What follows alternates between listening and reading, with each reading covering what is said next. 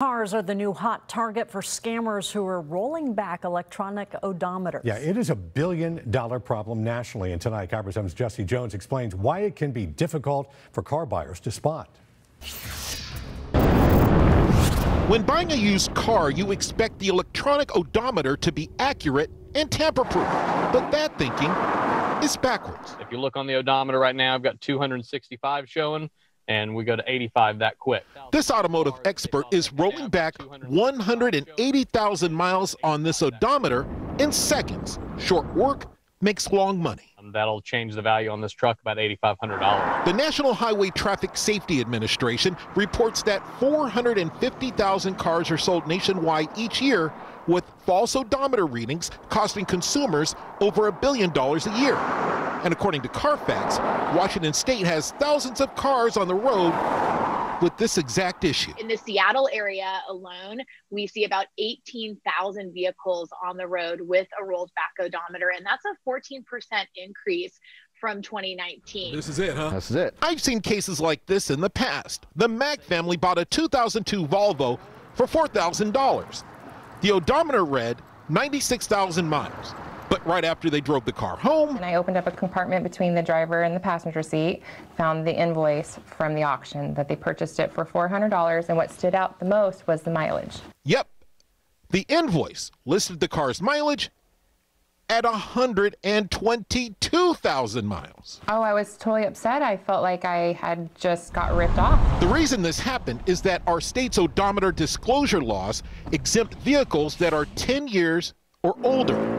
In other words, you wouldn't need to fill out an odometer disclosure form like this if the vehicle is a 2010 or earlier. Investigators. Michael Domke is with the National Odometer and Title Fraud Enforcement Association.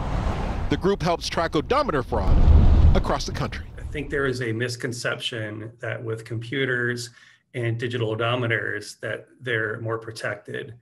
Uh, and I would actually say it's probably easier now to adjust those and manipulate them than it was when we had you know the rolling mechanical odometers. Domke says the job of catching the bad guys is made even harder with consumers buying more vehicles than ever on the internet. And while that brings certain benefits, it also brings certain risks because it, it opens up the network of vulnerability to consumers when they buy a vehicle and don't know who they're buying from. So, how do you protect yourself?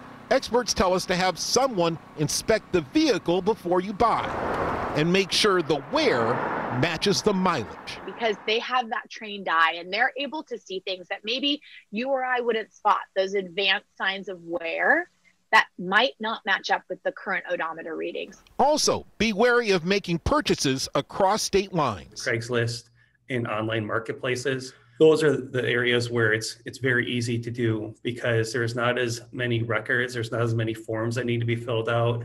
It's really just, uh, hey, do you want to buy this? And get a vehicle history report. The two I recommend are Carfax and the National Motor Vehicle Title Information System if you're going to spend thousands of dollars on a vehicle, take the time to spend an extra $50 and get a vehicle history report and know exactly what you're buying and then have the confidence that what you see is what you get. He just kept throwing out. Remember the Mack family? The I was able to get their money back, but most other consumers won't be so fortunate. And if you're not educated and know what to look for, it's pretty easy to be taken advantage of. Okay, there's a device that you can buy. It costs about 200 bucks that will help someone roll back an odometer. I'm not going to show you that. This is not crime college. I will show you how to detect the crime, not how to commit it. David Monique. Yeah, it is good to know he, he's not a professor at crime college. right. that, that's great, Jesse. I'm glad for that. but give me a sense here. You know, you get kind of paranoid in these situations and not trusting anyone. Are dealers involved in this kind of thing? Do you know? Well, we talked to NHTSA, and it is spending most of its time in its investigations going after auction houses, not dealers. Dealers typically buy their cars from the auction houses, those used cars.